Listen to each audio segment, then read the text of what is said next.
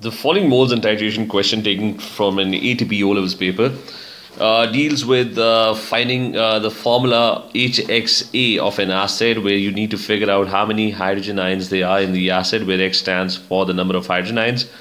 So the question reads that a student was required to determine the value of X in the formula of the acid HXA by titrating an aqueous solution of the uh, acid S with aqueous sodium hydroxide which is T. So you have uh, sodium hydroxide which is called T and the aqueous solution of the acid is S and you're given the concentration uh, of both substances.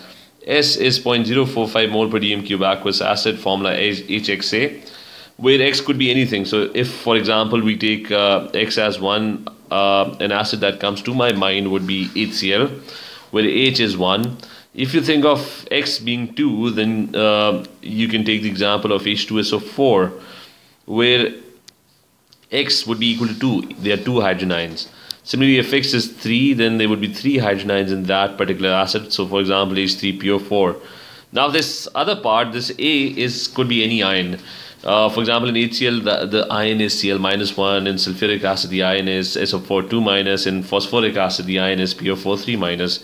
So it could be any ion uh, where uh, so the H is variable. It could be you could have one hydrogen ion in the acid, you could have two hydrogen ions in the acid, you could have three hydrogen ions in the acid. So that is what we want to figure out in this question. T on the other hand is given as 0.08 mole per decimeter cube of aqueous sodium hydroxide. And the first part of the question states that 25 cm cube of T is uh, transferred into a conical flask.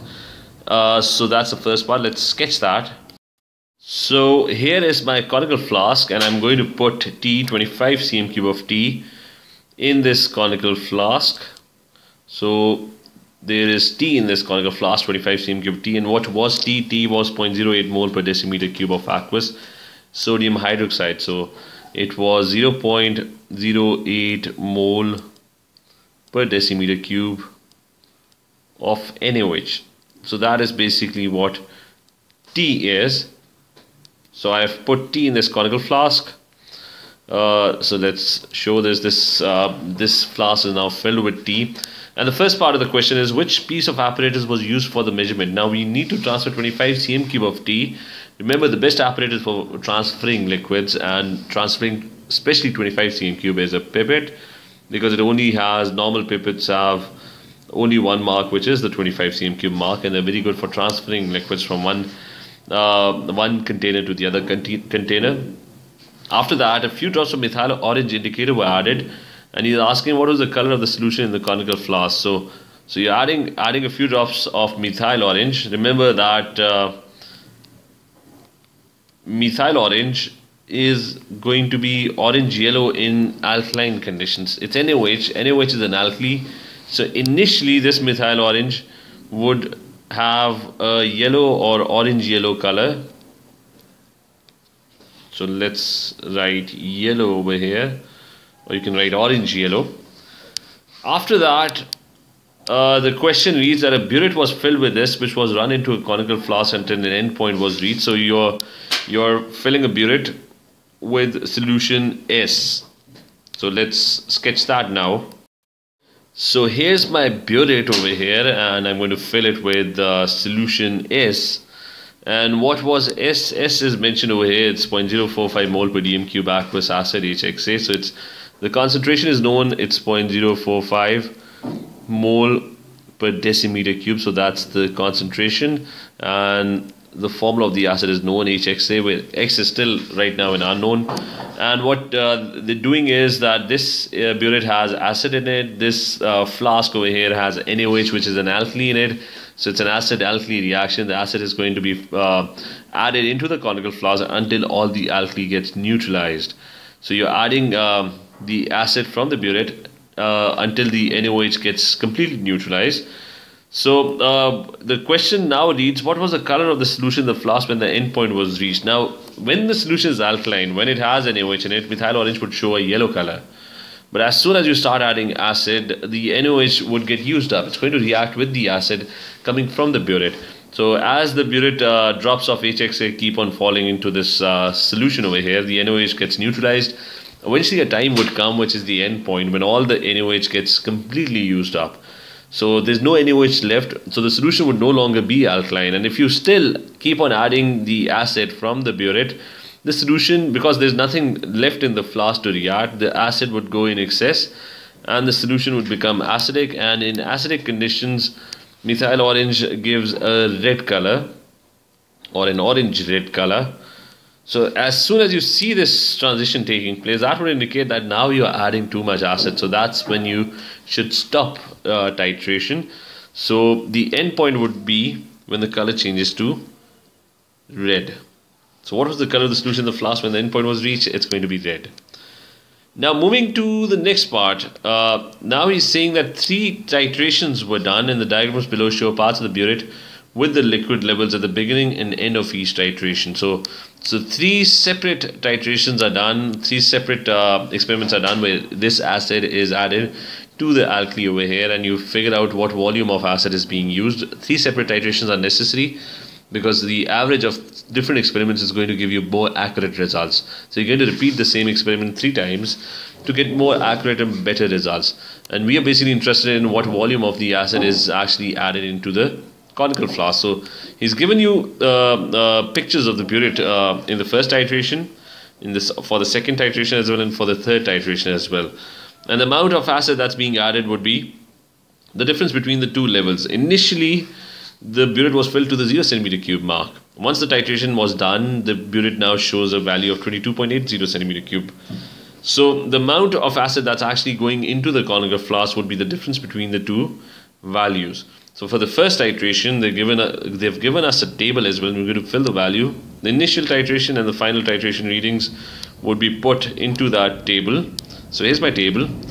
Uh, the final titration uh, reading was 22.80 cm cube, and the initial burette reading was uh, 0.00 cm cube. Remember to take burette readings to two decimal places because that's the accuracy of the apparatus. So the volume of acid or S that's being added in the titration is going to be the difference between the two values, which is going to be, for the first case, it's going to be 22.80 centimeter cube.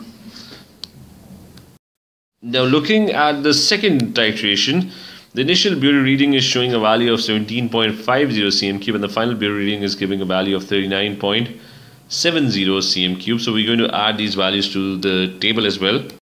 So the initial burette reading was 17.50 cm cube and the, uh, the final burette reading was 39.70 cm cube. So if we figure out the difference between the two values, that's the volume of acid that's actually falling into the flask over here. So taking the difference between the two values would give me 22.20 cm cube. So in the second titration, uh, the amount of S that's being added or the acid that's being added into the flask is going to be 22.20 centimeter cube. Now moving to titration 3. If you look at the third titration, the initial reading shows a value of 8.90 cm and the final shows a value of 31.30 cm cube. So let me add uh, those values to the table. The initial burette reading was uh, 8.90 cm cube going back to check uh, the final burette reading which was uh, 31.30 cm cube so that's 31.30 cm cube so that's your final burette reading 31.30 cm cube and taking the difference so I'm going to use my calculator to take the difference between the two values. And it's uh, going to be 31.3 minus 8.9 and the value that I'm getting is 22.40 centimeter cube. So that's the amount of S that's added. So I've done three titrations and I've figured out the volume of S that's being added in the three titrations. In the first it's 22.80 in the second one it's 22.20 in the third one it's 22.40 now I have to take the best titration results remember the uh, results that are more accurate would be the ones that would be close to each other this value over here is slightly off compared to the other two values. These two values are more closer together, which basically means that they show more accuracy. Because if a value is coming very far from the other values, that would indicate that that value is anomalous and there must be something wrong going on in the experiment. So we're not going to pick this value. And these would be our best titration results, the ones that are close to each other. So I have these two values my best titration results. And now using these results, I need to find the average volume of S that's being added. So I have 22.4 and 22.20. If I take the average of the two values, it's going to be 22.30 cm cube. You add the two values and then you divide by 2. So it's going to give you 22.30 centimeter cube. So we've now figured out the volume of S on average that's being added. So I'm going to write that down as well. It's uh, the volume of S that's being added is 22.30 cm cube on average. Now if you look at the sketch over here, uh, I have solution S and I know the concentration of S and I also know the volume of S. So in the next part, uh, part D, S is, we know the concentration of the acid 0.045 mole per dm cube and using your answer to C, this previous part 22.30, calculate the number of moles of acid in the average volume of S. So we have the concentration, we also have the volume now. So if you know the concentration of a solution, you know the volume of the solution, you can now pretty much calculate the quantity of moles. Moles for a solution would be concentration multiplied by volume. And the concentration it's known, it's 0.045 mole per decimeter cube and the volume is 22.30 cm cube and I'm going to divide that by 1000 so that I can convert that into dm cube. And now using my calculator to solve this, it's going to be 0.045 multiplied by 22.3 and the answer would be divided by 1000 and the value that I'm uh, getting rounded to three significant figures is 0.001 moles. And I'm going to add this value on my sketch as well. So the amount quantity of S that's being used is 0.001 moles of the acid. And I'm going to circle this to highlight this. So that is the amount of the acid that's actually being added from the burette into the conical flask over here. Now moving to the second part, uh, to the E part of the question. The question now uh, says that T is 0.08 mole per dm cube sodium hydroxide and you have to calculate the number of moles of sodium hydroxide in 25 cm cube of T. Remember that T was added into this conical flask and you had the volume. You, were add, you added 25 cm cube if you remember correctly. 25 cm cube of T was added and the concentration of T is also known. So again, for a solution, moles is concentration multiplied by volume. So since you know the concentration, which is 0.08 mole per decimeter cube, and you also know the volume, which is 25 cm cube using, so we need to convert that into uh, into dm cube. So we're going to divide that by 1000. So using my calculator, it's going to be 0.08 multiplied by 25, and I'm going to divide that by 1000 and the answer is going to be exactly it's going to be exactly point zero zero two moles. So we, we can write that over there as well. Uh, the amount of T that's being used is 0.002 moles of T that are being used in this reaction. So that's the amount of NaOH in this flask. And if you look at this diagram now you would notice that 0.001 moles of this acid are being added from the top and they're reacting with 0.002 moles of NaOH in this flask over here. So in the next part, he's asking using your answers to D and E, calculate the number of moles of sodium hydroxide that react with one mole of the acid HXA. So we need to find the ratio in which NaOH and HXA react.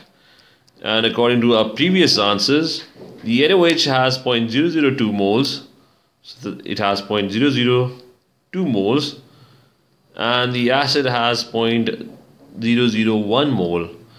Now the ratio in which they're reacting, it's pretty obvious that 0.001 moles of acid are reacting with 0.002 moles. So it's basically, it's pretty obvious that the ratio, if you have 1 mole of HXA, then you're going to have 2 moles of NaOH. So the ratio, the amount of moles of NaOH so the number of moles of NaOH that are reacting with 1 mole of HXA is going to be 2 because it's pretty clear 0.001 moles react with 0.002 moles. 1 mole would react with, according to that ratio, would react with 2 moles. And in the next part, you now have to figure out using your answers to F, deduce the value of X in the formula HXA. And again, like Um, I told you before, if X is 1, think of HXA as a real acid. If X is 1, think of an acid having one H, that's HCl. HCl is the acid that comes to mind.